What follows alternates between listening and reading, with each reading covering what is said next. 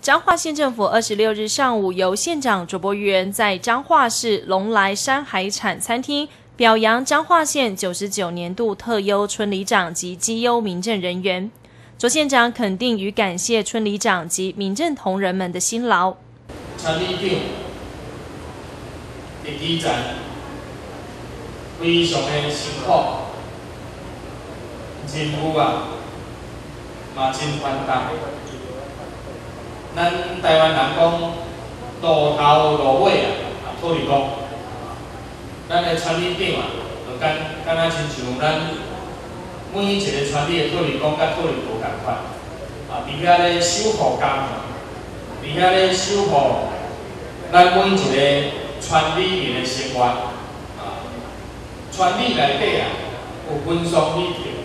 咱拢靠村里长伫遐顶天伫遐服务，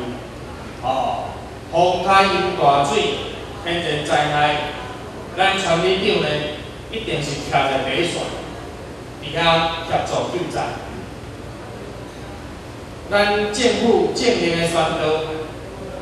县政府的业务、乡镇公所的业务，嘛是靠咱村里长的基层斗帮忙。咱村里长啊，太重要，嘛服务太好。所以我今日呢，爱代表所有的国民啊，感谢所有村里长的付出，啊，甲努力。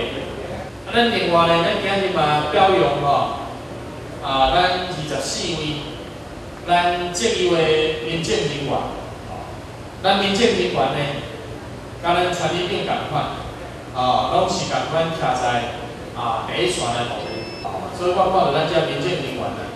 感觉足亲切。民政人员也是最有亲和力啊，也是最有亲和力啊，也是啊最基层，也是最辛苦啊。那感谢建佑的建议完哦，江乡各位大家表扬大会中，卓县长表扬二十三位全县特优的村里长，同时也颁奖给二十四位绩优的民政人员。